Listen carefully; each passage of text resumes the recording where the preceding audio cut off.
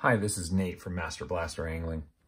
What I'm going to show you today is how to utilize the Knot Kneedle as a hook holder so that you could more easily thread your line.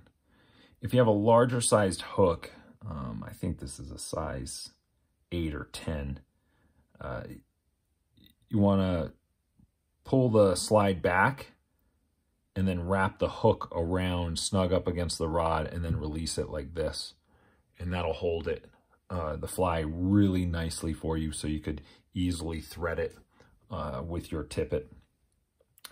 If you have a smaller size hook, grab this RS2, uh, that obviously can't go around this rod, you can just put it right up against it like that, and then hold it there so that you could easily um, thread the eye of the hook.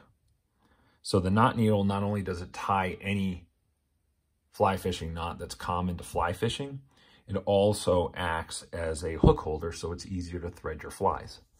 Uh, you can pick these up at theknotkneedle.com and uh, that is K-N-O-T K-N-E-E-D-L-E